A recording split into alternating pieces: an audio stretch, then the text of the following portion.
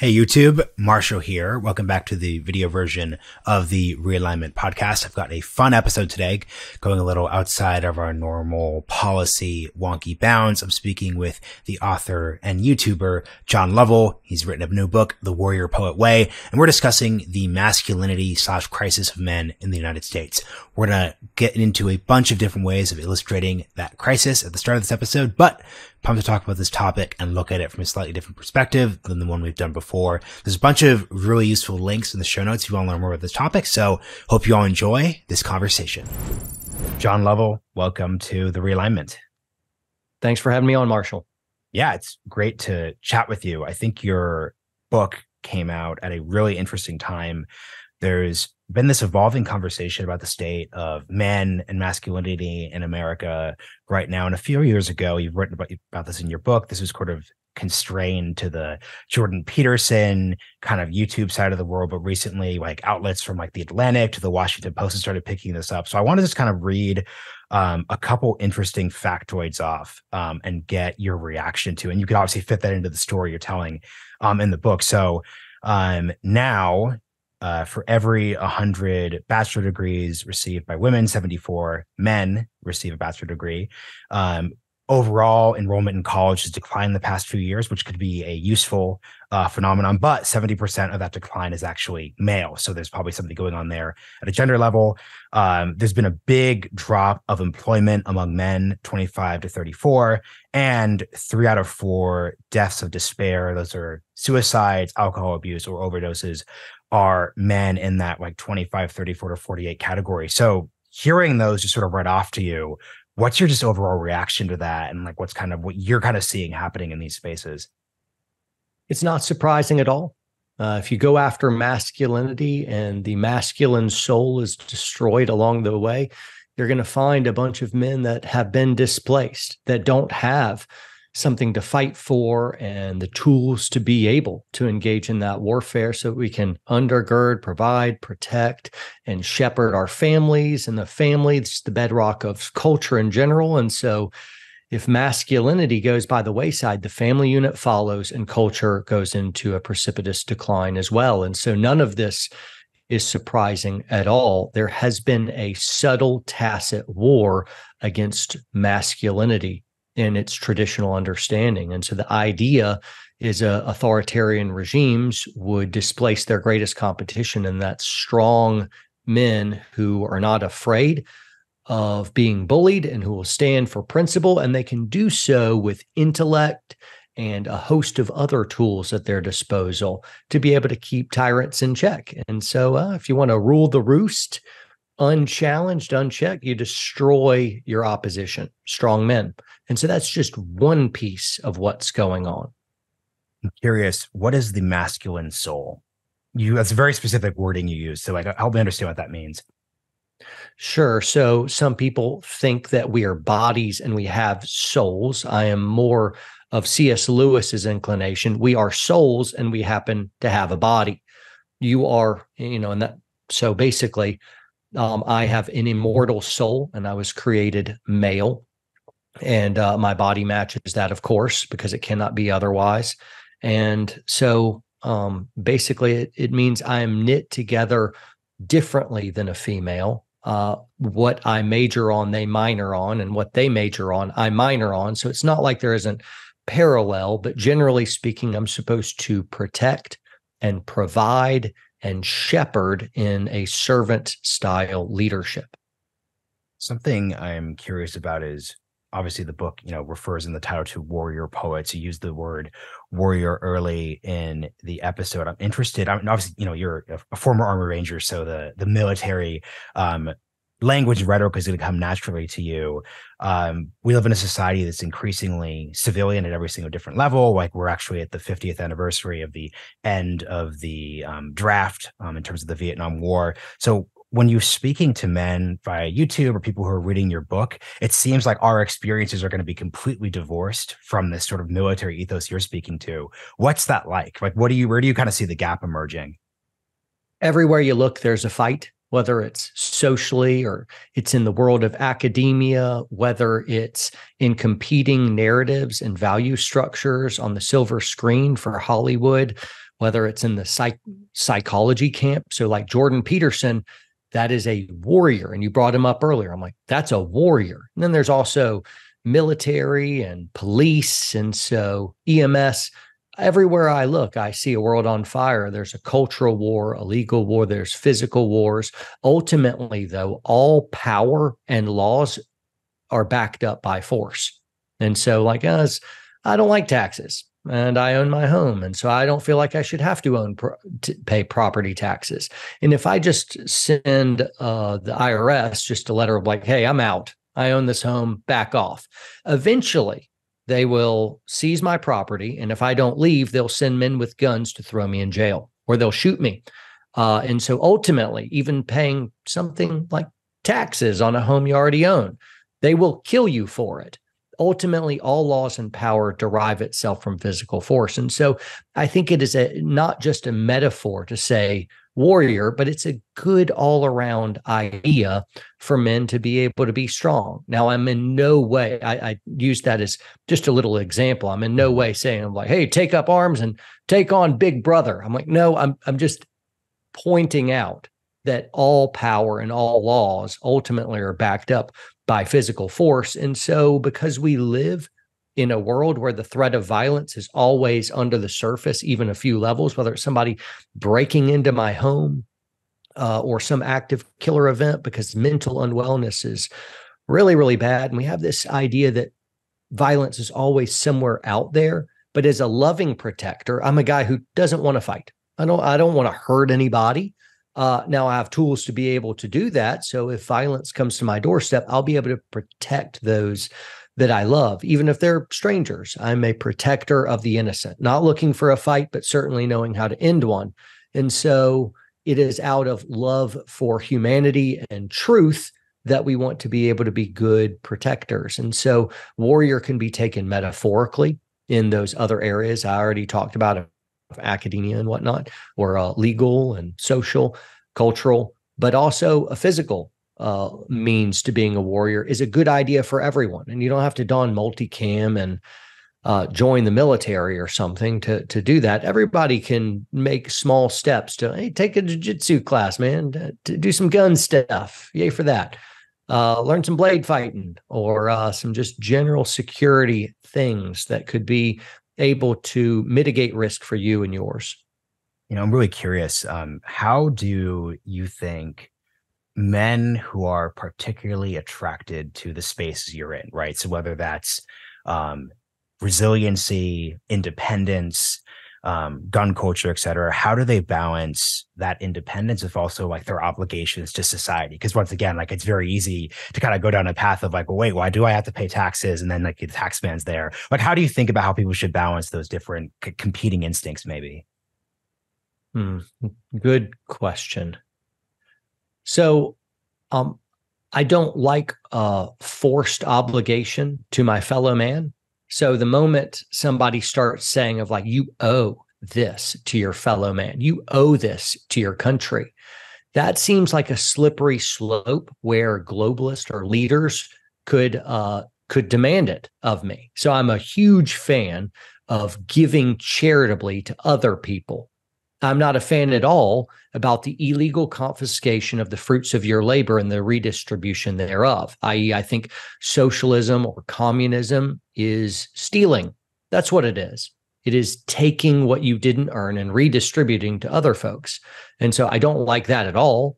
Uh, so I'll be very charitable of like, I'm giving and I want to be able to contribute to my fellow man and help with society, but I don't like it to be compulsory. Uh, and so that starts to look like um, authoritarianism. That lo- that looks like tyranny. It, it, immediately gives them a crack in the door, which they will fling wide open within one generation. And so, um, I, I think there is a burden of brotherly love that we should give to our fellow man, and by extension, that that will ripple out to an entire country. Mm-hmm. But um, I don't owe my political leaders anything. Uh, they should owe me something, though. They represent me. I don't serve them; they serve me. Is the way it should be. So anyway, that's that. That gives you a little bit of a glimpse into how I see the idyllic form Uh, did that answer your question? No, it did because the key thing there is you're kind of differentiating between communism and socialism, but still under your articulated worldview, you're still fine paying property taxes to support basic social services like the police, uh, firemen, like, like, those things. I, so I think uh, there is a certain amount of taxes that I'm I'm good to pay. Of like I, I think that uh, being able to combat foreign threats, which are extremely hostile, it'd be a good idea for us to be able to have a military. I think roads are really important. Now, I think 90 something percent of the taxes that we pay are absolute government bloat that is causing far, far more harm than good. And we are moving toward a welfare state, which is they take massive amounts of a person's wealth over their time and then barely give them anything back in the way of social security once they hit a certain age. I'm like, if you didn't rob them blind their whole lives, everyone's going to kick back as, you know, very, very wealthy people. But uh, if you add up all the taxes that you're paying, of like maybe I, I, I don't know what you make, Marshall. I'm not interested. Well, millionaire. In, no, in, I'm not. I'm kidding. well, I'm, I'm just saying. Fabulously you know, wealthy. maybe it's maybe it's as low as you know 25 or 30 percent Mm-hmm. Maybe it's as high as 40%. I don't know. But if you start adding up of like, all right, well, here's your property tax, here's all the sales tax that you do, here's uh vehicle tax, and oh, you got your cell phone tax. Everything you do is taxed. And so if you add it all up, it may be something like 40 to 50% of your entire earnings are given straight back to the government. 50%. Mm-hmm. I'm high, I'm I'm higher than that. Uh, and so they're taking massive amounts of wealth and spending it in ways that I find not only unwise, but some of it I find outright evil and diabolical. And so, at what point is taxation pure theft and tyranny? At some point, we all become slaves. What happens when the tax rate is effectively 80%? If, in, uh, in the words of Andrew Klavan, when they take your money, they take your time because you trade your time to get money. When they take your time, they take your life because your life is made up of time. At what point do you actually become a slave? 70% tax rate, 90, 100%, you're obviously a slave. But 90% tax rate, you, you can't survive. The dream of living for life, liberty, and the pursuit of happiness is utterly dead because you cannot make it on 10%, not even close. And so we are certainly on a, a line where taxation has reached such a high level that it is uh, uh, it is outright theft and tyranny. And I don't know what that line is exactly, but I know there is a line. Uh, I don't want zero, and I certainly don't want a hundred. So I'm working that out still. I don't know. Yeah. And you're just, you know, you're describing politics in terms of like what that line is and how you determine what that line is. You know, something I'm I'm curious, especially given, you know, your status as a veteran. Um, you you you said explicitly that, you know, you're you're not a huge fan of obligation um, inherent obligation, uh, especially at a compelled level, um, and something that a lot of folks in like more, let's say, like traditional political circles have like raised when they're confronting like the number they started the podcast with, are hey, like maybe we need to bring back national service, like maybe we need to have a draft, like look at the civilian conservation corps in the 1930s, all these like you know 18 to 25 year old men like going off into the woods and like building stuff, et cetera, et cetera, et cetera. What do you think about drafts, national service, compulsory? things like that um, as means of basically two questions then like at a philosophical level what do you think and then two let's just say like there was like a draft and you had two years of obligatory service like it's the 1950s what do you think that would do to address some of the things that you talk about or are concerned about well, something like 1950s, if I looked at a country that actually stuck to our constitution and wasn't this rogue, insidious thing, well, I would feel a little bit better at the idea of a concept of a draft of like, hey, world war, your whole country is going to be steamrolled and everyone you love is going to die. And so that, let's just put that as like, mm-hmm. that is our constraint. So let's make a thought experiment. That is it. And if we don't organize and make a draft, our entire way of life is going to be gone. Um, I wouldn't like the idea of a government being able to draft free citizens because that is basically the uh, the the force uh, forcing of the free man to risk their life for a cause they may not believe in. And so I do not like that on its face, the idea of a draft. However, I will give a nod to the practicality of it. Maybe that's the only way everyone even survives. Of like we enjoy certain um, liberties as Americans, and that liberty is not free. You know, you do have to pay mm-hmm. some type of taxes. You do have to give yourself over to submit for the public good uh, a certain amount of laws for your fellow man. You shall not murder is part of the deal. Mm-hmm. You know, you got to sign on for that. And if you can't sign on for this, uh, a few, you know, important laws, well, then you can beat feet and go live somewhere else. But there is certain advantages of being an American, and you have to basically, you, you can't just be completely rogue uh, libertine, do whatever you want in a psychopathic way without consequence, you know? Uh, so ideally, I, I kind of struggle with the idea of a draft in, in, general. Nowadays, I definitely have a huge problem with the draft because of uh, one is uh, what I see the state of our country in. Um, also, the presidency, you have to swear an oath to follow the orders of Joe Biden as commander in chief. I won't do that. I won't do anything. Of like I think that is a, a corrupt uh, crime syndicate. Uh, I think I have absolutely no um, ability to pledge my life and death to the orders of Joe Biden. Of like, I don't think he, there's anything operating upstairs. I think he's a globalist puppet, and so man, I, I can't ask. I, I, certainly don't want to be drafted into that. And also seeing that the military is being eviscerated by the consequence of woke ideology forced upon it. Uh, soldiers are fleeing the military because of installed woke leadership, which is destroying the fabric of the military. And now, as recruitment is down over 25%, for its goals for this year, they have recently uh, made a announcement that they intend to activate the inactive ready reserve. So to take soldiers that have already gotten out and to say, "Hey, you got to come back in so we can meet our numbers." It's like they're forcing you uh, to uh, go along with this woke ideology, and then they're forcing you into the military so you can't even escape the woke ideology.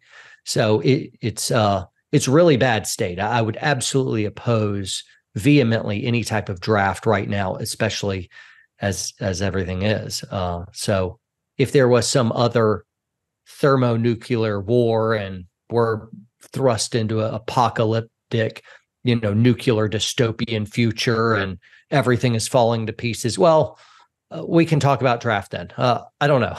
I don't know. Yeah, yeah. I, we'll I guess... immediately forget about woke stuff overnight uh, as soon as we're all the way down on Maslow's hierarchy of needs to just basic survival. We'll forget about genders immediately when we all have distended bellies because we can't eat. I think the thing that's fascinating for me here then is so, so million follow-ups to this. So one, military obviously played a huge role in getting you to where you are. Um, your conception of yourself, um, a lot of the ideals you're you're describing here. So to hear your dissatisfaction with that status quo is honestly kind of depressing. Um, I guess what I would ask is th- th- th- this is a podcast which is, you know, listened to by people in like decent positions of like power and influence. So I want you to kind of like speak to them if you're, you're, you're describing this. Uh, what I'm, what I'm kind of curious about is like, given what you just articulated, your dissatisfaction of Joe Biden, I'm not quite sure how we're supposed to organize a society if that is your mentality. Like in the sense that if this were 2005, I could have found a super liberal, you know, vet from the 90s or something who would have said, like, look at George W. Bush. He, you know, lied us into Iraq. He lied us into, you know, Afghanistan, body, body, body, body. Like, those aren't my opinions, but like someone could easily kind of say that. And I guess sort of like as a policy person, I'm like, shit, like, how are we supposed to organize a society if we're kind of um swaying between those two positions? So just like, what's your kind of like reflection on that? I've got an answer. Uh, so whether it's a guy I like in the White House or a guy that I don't like in the White House or a gal, whatever, uh, 2023, you know, whatever. Um, I don't think they should have nearly the power they do over our lives. I think the primary uh, power should rest with the Constitution. We should be free. We shouldn't have, you know, just tens of thousands of crazy laws on the books. You don't even know. Everyone's committing felonies every day. There's so many, or at least misdemeanor, all over the place because we have so many laws.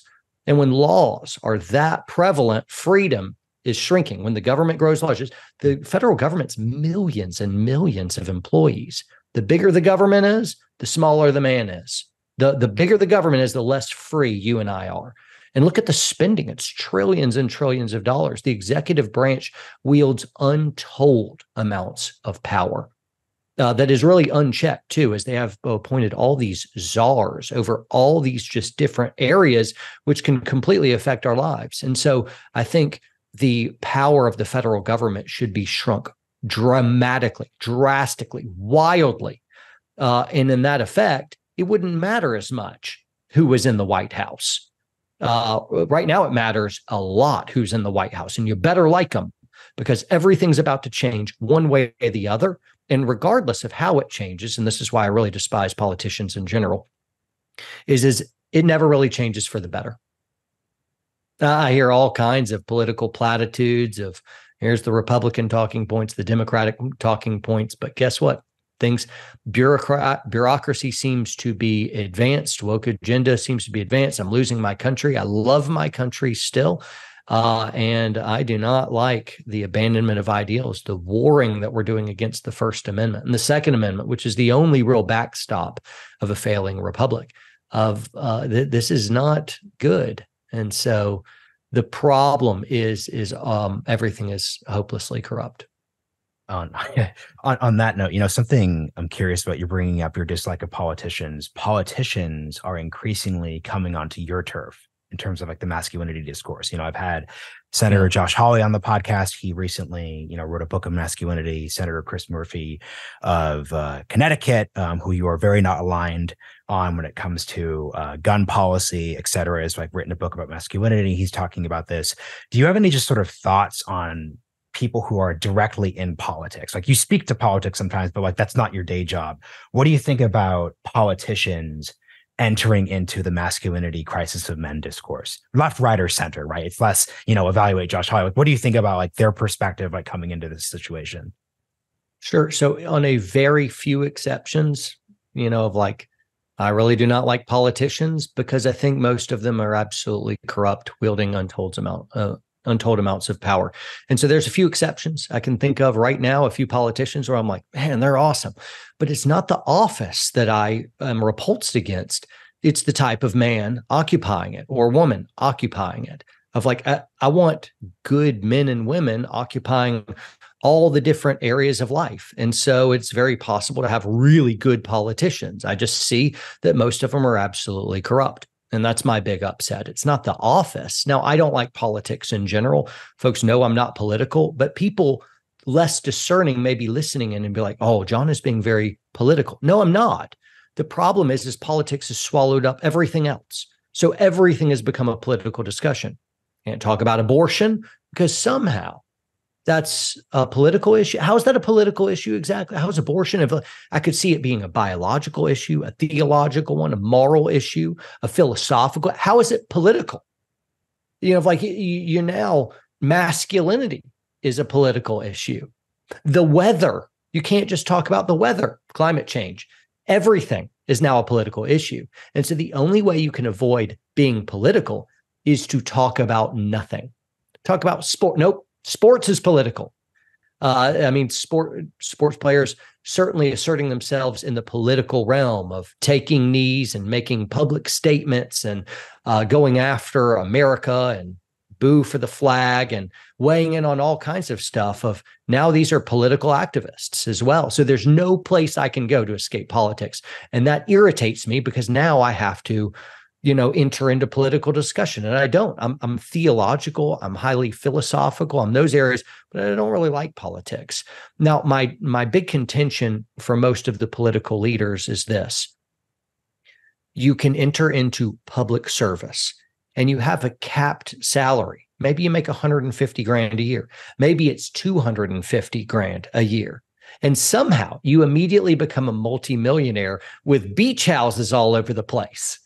You know, of like your your hedge funds are outperforming the greatest hedge fund man, hedge fund managers. You're doing legalized insider trading to make a bunch of money, or you're taking suitcases of money from people. Of like, how is it that you are multi multi millionaire serving in this public office. If like it's just the most obvious way that the American populace can be like, oh, you guys are all super corrupt. Oh, you're all bought and paid for, aren't you? Your opinions aren't your own. You'll placate the masses, telling us lies and empty, yay raw platitudes, and then you'll do the secret bidding of the globalist who bought you. You bunch of crummy, spineless cowards. And so that'd be my message for most politicians. For the few out there who didn't take the briefcase of money, all you have is my most sincere and ardent thanks. Brothers and sisters, continue to toe the line. Thank you. Uh, we need you. Uh, we support you. And I dare say we love you. Thank you for being virtuous in a world gone wrong. So, um, I appreciate that answer because I think it gets to the core of the dilemma here. Um, I think the difficulty when, like, let's say, and that this, I think, this kind of goes to your point around uh, the the size of the state and what government's up to. Um, obviously, a lot of the things like abortion are going to become political just because, like, like it, oppose it, et cetera. The state's making um, decisions on those levels. So I just want to note that. But I guess my question for you is then, what is your advice for how folks should try to address the topics that we're hitting today um, without descending into unhelpful politics. I think something that's happened with like Jordan Peterson, I think that back in 2017, 2018, when he came onto the stages, I think he was like super, super, super compelling, super, super interesting. Um, but now he's doing like, you know, anti-climate change, um, you know, monologues, you know, for the Daily Wire. And like obviously, like he's entitled to hold his positions, et cetera, et cetera, et cetera. Right. It's more just that like if I were his, you know, guy on the side, I'd be like, yo, like by becoming political in the way you're becoming political, I think the thing which you're most useful on, which is just this like, you know, 10 rule, you know, the, the rules and everything is going to be really be kind of ruined here. So like maybe you disagree with that. And like obviously don't want to tell people, I'm not telling people to like kind of shut up, but I'm just trying to say like it's just it's just frustrating for me. Do you kind of get what I'm saying? It's sort of like no, I, how do you how, how do you do. think how do you think through this as a creator yourself too then? So there's the tactical move of I know how to get more views on YouTube. And if I get more views on YouTube, I will make more money. And if I make more money, I can do more stuff that I want to do, you know, and that'd be pretty swell. I like money. I like influence. I like people uh, excited about the content. I would rather have less trolls, less people angry at me, less people attacking me. That all sounds pretty great. And I think Jordan Peterson's the same way. I think he knows exactly the tactile tactical reasons why he should and could uh, operate very, very differently. But he doesn't do the tactical thing because he doesn't care as much. I don't care anymore. I'm ticked off enough about uh, corruption running rampant, about sin and evil and lawlessness. I am tired of being bullied. I'm tired of seeing freedom of speech attacked. I'm tired of seeing little kids mutilated, um, uh, dead babies. I'm I'm tired. I'm sick of it. And people may not like that, but we should always have let's have open discourse. Let's engage in the war of ideas. And let's not have big tech corporations that can censor us and shut us down. Let's continue in the democratic way of disagreeing and coming to consensus and arguing things out. The problem is is when first amendment starts to corrode and disappear and that the people demand the censorship of the views that they don't like. Well, I'm like, well, then then you're ultimately consigning us to physical war later. If you lose in the war of ideas and you take away a person's voice so that they can't speak and you can't argue in the public square, and if you censor them long enough, that's going to build and grow and grow until one day the only recourse you've left with them is physical violence. And I do not want war. I do not want that. And so I'm just recognizing not as like a hey threat, this will happen. It's like, no, no, no. This this is just the eventual cause and effect. So you don't want public discourse to break down. Don't cancel anyone. Let it all work out in the wash in the war of ideas. Of like, if you don't like Peterson on climate change stuff, well, listen to his argument. Don't say anything, just listen and then listen to the counter arguments and then back and forth and back and forth and keep an open mind. And it's okay to passionately believe stuff because, yeah, like that, that means you stand for something. That's good. Eh, the worst thing is is when uh, people put up tolerance is the top thing Uh, G.K. Chesterton, a great 20th century philosopher, would say tolerance is the top virtue of a people without convictions. And what that means is because you don't really have any core beliefs, because you don't feel anything in your bones to be true and valuable, all that you care about is just keeping the peace instead of like, no, no, no, don't disagree with what's going on. Just go along with the status quo. Let's have everybody happy on the surface so that in 20 years we'll all crack under the facade, the veneer, and it'll be outright war. So we got to engage healthily with the people we disagree with in the culture war to mitigate what would ultimately happen later and is always the uh, cause in history when people's points of view are repressed is you are not too far away from open war and i don't want that. That's fascinating. Um, so here's a follow-up to that then on tolerance and you're better read on this stuff than I am. So please, like, like, uh, yeah, I'm saying this. Un, I'm saying this unironically. Like, educate me on this. Is there a difference between a societal norm of tolerance versus you individually, John, know truths that you hold to be true. Do you kind of get what I'm saying? Because for because from my perspective, it's like okay, like as a building block of society, we have 330 million people. Um, we're not going to agree to one truth.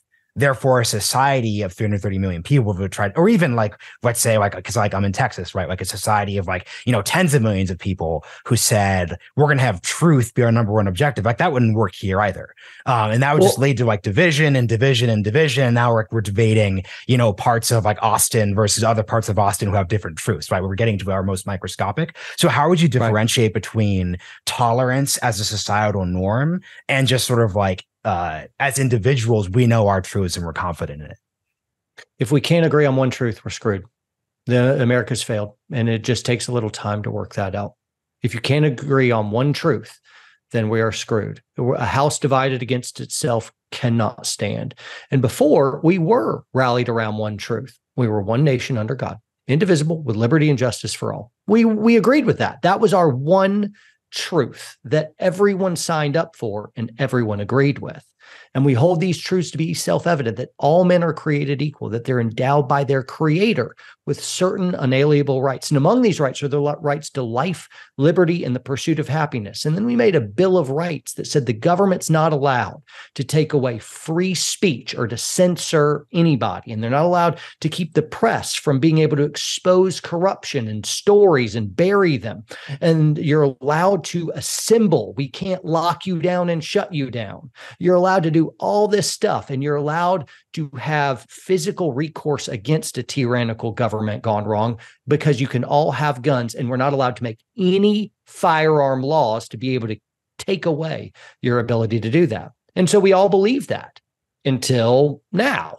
Uh, and it's been really eroding for decades now. So it's not like now, but now, as a nation declines, it does so slowly over time until the very end, and then it picks up wildly. And we're in the very, we're in the twilight of, the American experiment. Perhaps in a hundred years, historians will look back and say America had actually already died as it was in its founding. Perhaps we died in 2020. I have no idea when historians will put the the um the the dash and the final date on America. Maybe it's gone already. Maybe it hasn't. maybe maybe we'll get some type of revitalization. But if we can't all come together under one truth, we are screwed.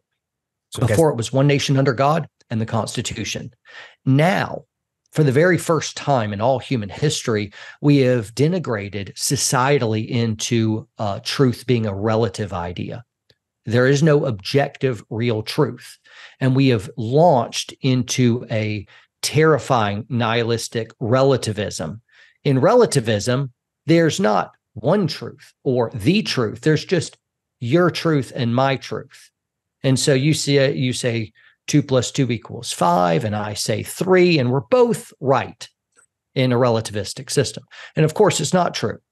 True, capital T, truth is narrow and exclusive by definition. It just is.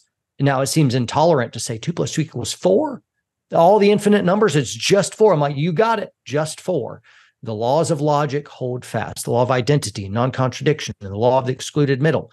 We can't even have discourse without relying uh, that the laws of logic exist. So when people say their truth, some of them mean in a relativistic way as if there is no truth. And if we don't believe there is a truth, then we certainly can't rally around a truth that can guide us together so that when we disagree on little truths of like, hey, you think you know, the earth is going to be underwater from polar ice caps melting, and in two years, we're all going to be dead. And this other guy doesn't believe anything's going. And then there's other people that kind of believe some and some not. Like, great, we can all have different perspectives, and we're weighing out data, and we're disagreeing, and we're talking about stuff, and we're figuring it out. But we're bound together uh, through our commitment of the one great truth. And then everything else is perspective, it's difference, and uh, of opinion, and it's all feeling our way toward more objective reality.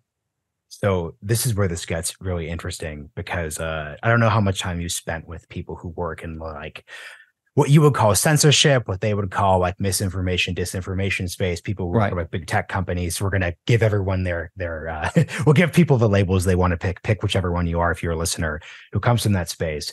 But I think what they would say is they would actually agree with you about the idea of truth. Um, and I think if you actually look at where a lot of more, um, let's say, like heterodox or independent or conservative libertarian people kind of get pissed off at social media companies, they're kind of ticked off at a 33 year old who lives in like Menlo Park in California. And they're like, great point, John. There is truth. Pizzagate lit like Pizzagate, like the conspiracy theory that there was literally, you know, children in the basement of a DC pizza parlor in a random part of the city is not true. That did not happen. Therefore, because we as a society can't operate without with different interpretations of that story, I am going to um censor or I am going to block or I'm going to de-algorithmically rank people who put that story out there. Um, without someone at the government necessarily telling them to I know people in that space who would do that with with or without a conversation with the FBI. So what I'm curious about then is what would you say to them, right? If someone would say, You're right, John, truth is real. Therefore, in my private capacity as a worker at a tech company with this platform that we own, I'm going to impose my interpretation or what I see as just the uncontestable truth. They would say Pizzagate equals not real is the same thing as you saying one plus one plus one plus one equals four. And by the way, you know this, never do math, um, ever do math live on a recording. I was like, please get to four once I started saying one plus one plus one plus one equals four. But what would you say to this dynamic, right? Because I just, it's not that you're contradicting yourself. It's just that this, you're getting at the tension. Oh, great. Then uh, I have one simple request. Great. You get to censor whatever you think according to your worldview, but give up your, uh, I think it's Section 30 protection from the federal government, uh, okay. so that you are a publisher two, now two, and not two, a utility. 230, yeah. Section 230, 230. So well, what that means is, is if I'm on the phone right here and I'm talking to somebody and I'm saying something that AT&T disagrees with, AT&T doesn't censor my call and cut it off. What happened? Oh, they didn't like what I say. That's a utility. They're a platform that allows phone calls to happen. Mm-hmm. Well, the internet companies are operating like a platform. Anybody get on, say whatever you want, do your thing. We're like a telephone service, but for the internet and for information. But the moment they start saying, and this is true and this is false, and we'll boost this story and we'll downgrade this and we'll put censorship accounts on this ideology because we really don't like these conservative voices, but we really like these lefty voices. As soon as you start doing this, you're acting as a publisher, you're curating the information according to your worldview. Uh, and so just remove your uh, protection because are you a platform or are you a publisher? Mm-hmm. If you're a publisher, then go nuts. But if you have damages, we get to sue you for it, as would be the case for any publisher on the planet. But they enjoy legal protections and indemnification as if they're a platform, but then they act like a publisher. So there's no public recourse. And that's highly, highly inappropriate. They're having their cake and eat it too. And it's the government that's allowing them to do that because ultimately, I think the government, as the Twitter file showed, is pulling the strings uh, behind silencing political opponents. When the Twitter files came out, it was extremely revealing that all these lefty tech corporations are banning the voices that they do not like. And so you can bring up something that's radical, like a Pizzagate thing, and say, see, because of this crazy thing, now they have an open door to also do the bigger problem, which is they're banning other folks. If I'm censored every single day, uh, we've got good content, people love it, but they just don't get my notifications anymore. Mm-hmm. You try to search for me and you're not already finding me, good luck following me. I remember typing in Warrior Poet Society and I typed in the entire word. And we have hundreds of thousands of followers on Instagram. This was recently. Typed it on on someone else's phone and I had to scroll down to page two to find out the fully typed out Warrior Poet Society uh, because they're just shadow banned. They're not letting people who don't already know me find me. And then they're, they're like quarantining me on YouTube like I'm a virus to slowly choke me out of existence while they flip my audience into other viewpoints. Perhaps if I'm far right to them or whatever, they'll flip them slowly to something more moderate. And then they'll see twerking girls from TikTok and they'll see stupid cat videos and whatever they can. And so uh, I see a radical, highly discriminatory, illegal, censorious uh, behavior that's happening from the big tech corporations, and there's absolutely zero accountability for it. And so they can silence and cudgel folks that would dissent by saying, "Hey, we're just, you know." Um, or it's not there is always the first reaction. Or they'll say, hey, see the Pizzagate kind of thing. Well, I just had a friend post a Sound of Freedom movie review with Jim Caviezel, the actor. Yeah. Jim, uh, sex slavery is one of the worst human slavery problems of all time. America is one of the greatest consumers of it. And so we absolutely know this isn't Pizzagate. This is human slavery happening right now. And YouTube banned the story. They not they they uh they removed it.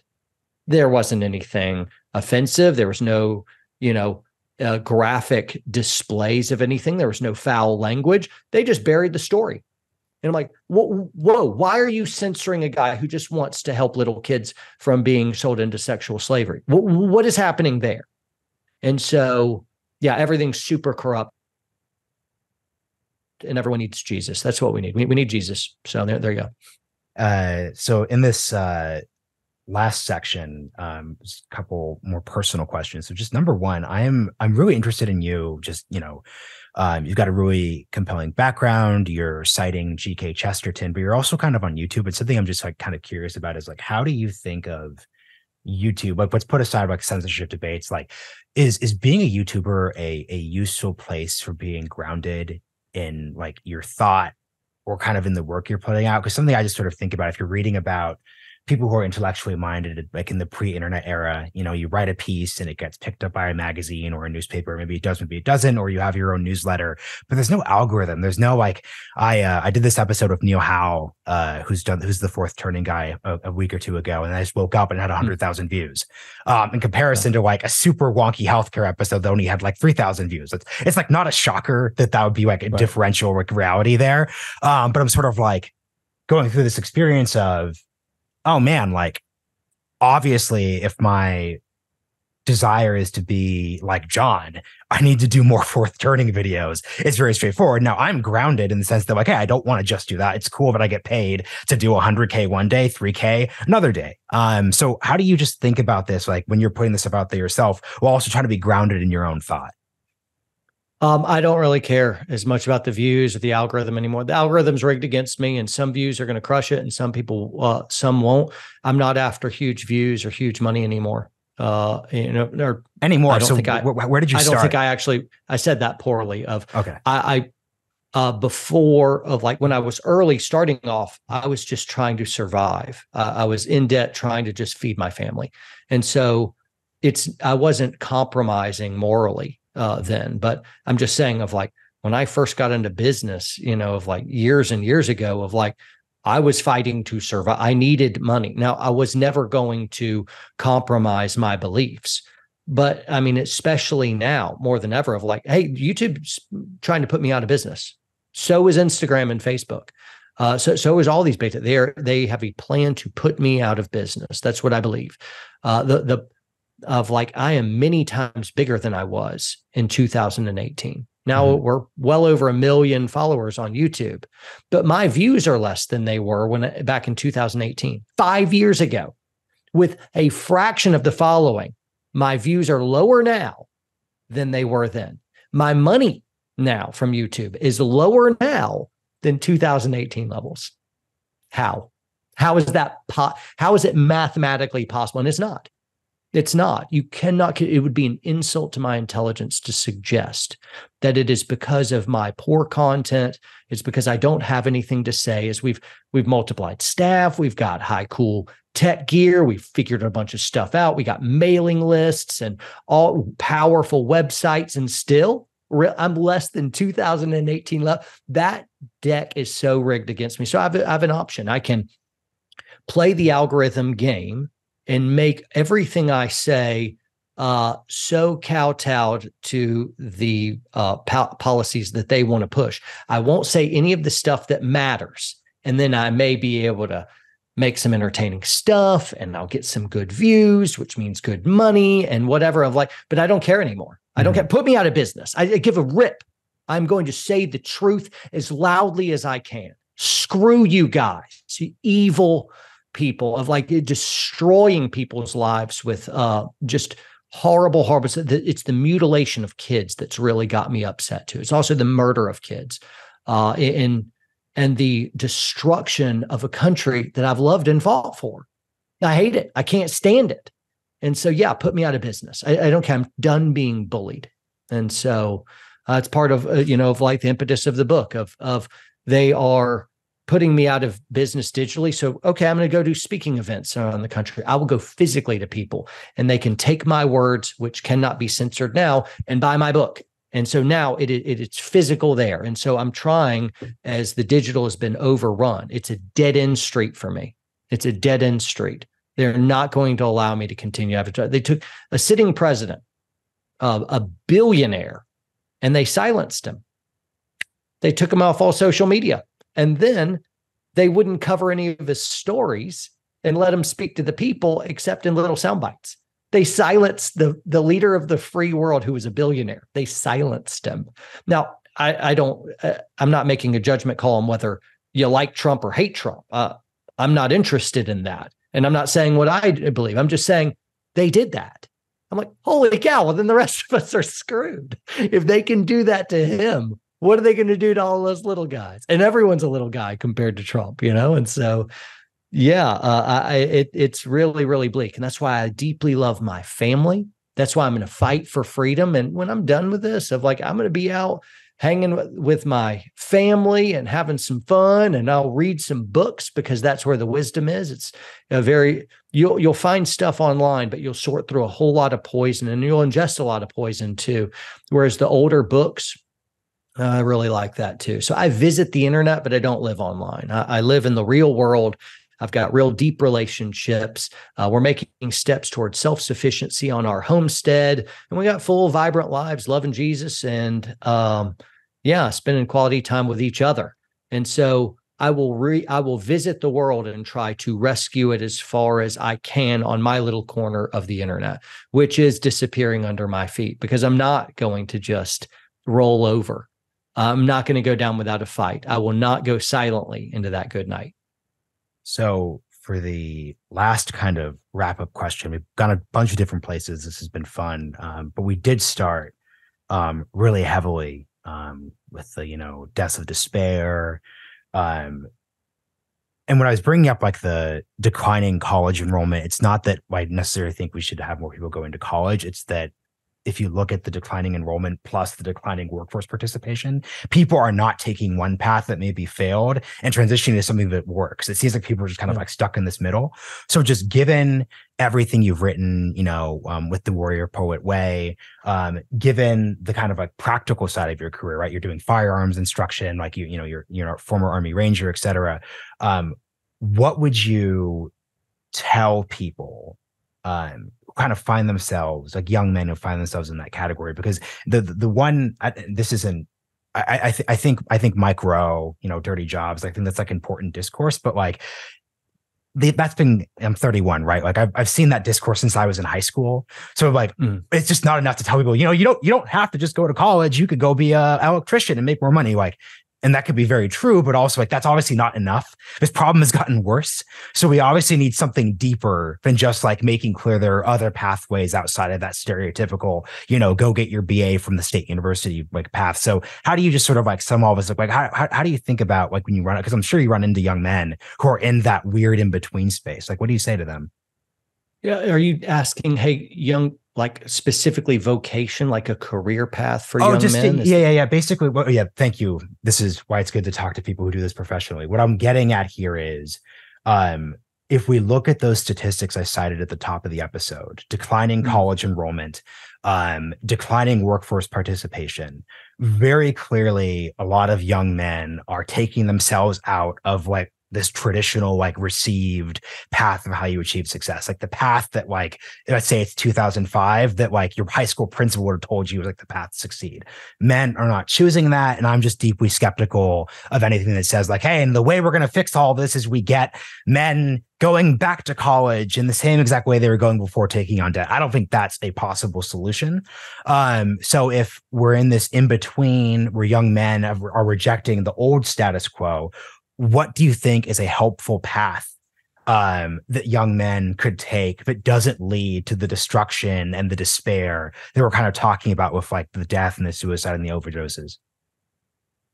Uh, yeah, so I, I understand what folks leaning in right now would want to hear, but truly, I cannot impress this enough. The thing that really made the biggest change for me that that took me from uh, more of an apathetic lifestyle of like, I know what I'm supposed to do. I just don't care. I've just, I'd rather watch TV and eat junk food and be taken care of. And I get that. I'm like, I don't want to do hard work. And what the thing that really changed me is I got converted uh, to Christianity. I started becoming a follower of Jesus, Jesus about 22 years ago, and it's made all the difference. Set my bones on fire. Uh, I care about truth. Uh, all of a sudden, my desire to learn uh, grew up. It just bless me in every single way. Everything I've got, so to him. Truly, uh, it is the fear of the Lord is the beginning of wisdom. Uh, it is the fear of it, and so that sounds like such a churchy Sunday school. Some people are being like, "Oh, come on, John." I'm like, no, I'm I'm telling you, that's the best thing you could do for life here on earth and the next. Um, for for those of the of like, man, just the wisdom of the world is ridiculous, it's stupid. It's just stupid. Um, none of it's worth it. Um, what matters is loving God and loving people and uh, being on that mission.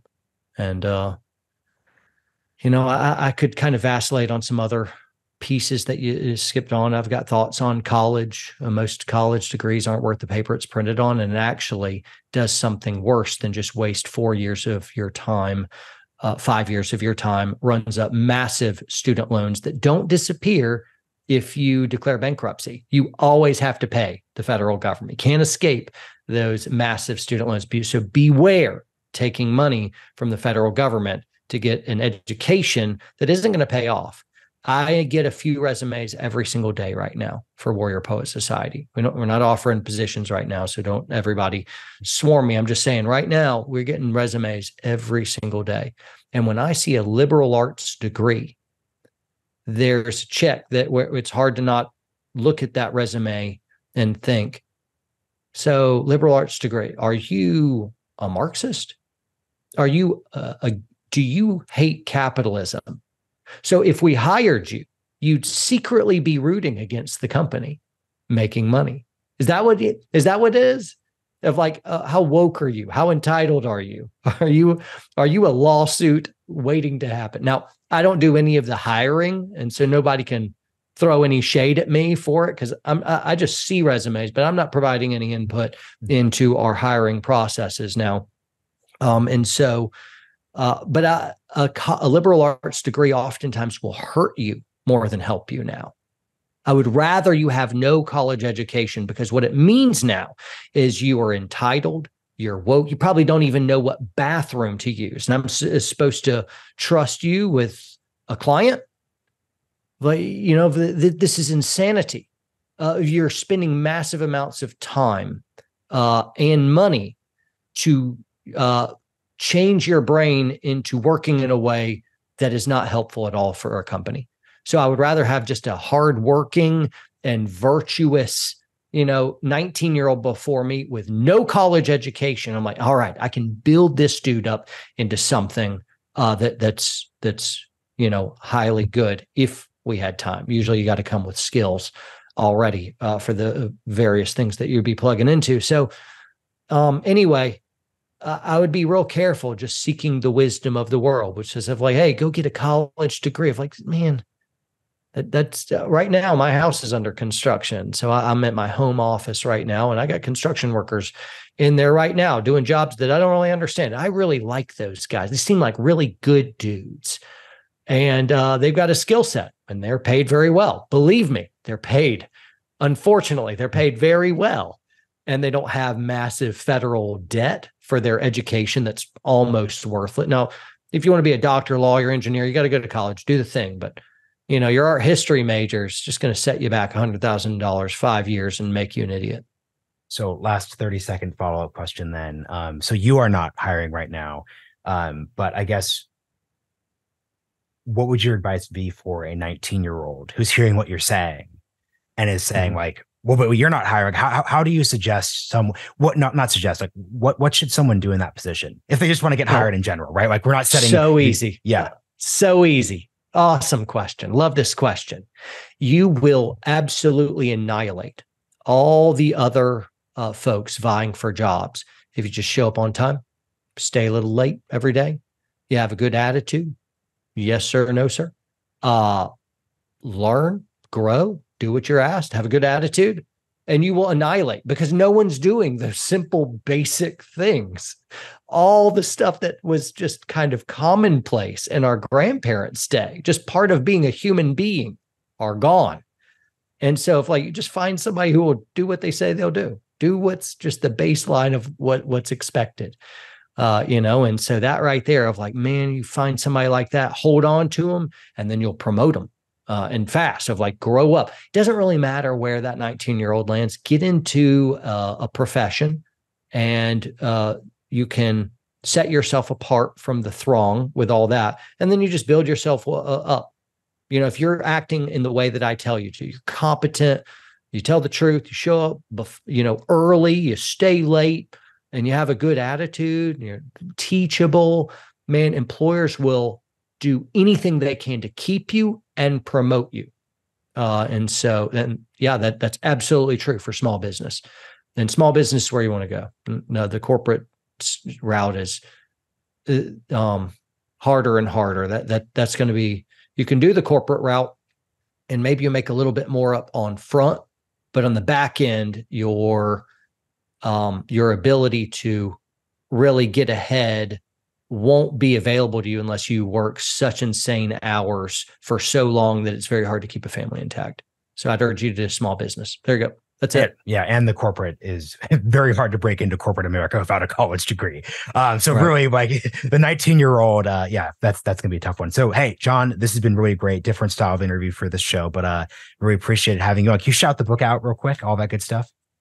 Yeah, sure. Uh, the book is The Warrior Poet Way. It's now a national bestseller. So we are thrilled and grateful for that. People are really liking it. It took me a few years to write. So I'm glad that it didn't waste years of my life. Uh, the audiobook is read by yours truly as you well. Did a good job. Went, you, you, you, you, you, you, did a good, you're a YouTuber, so I hope you do a good job. You did a great job. So I can recommend that for folks.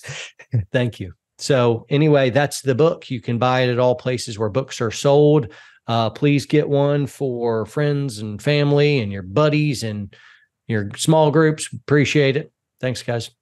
Awesome, man. Thanks for joining. Thanks for having me.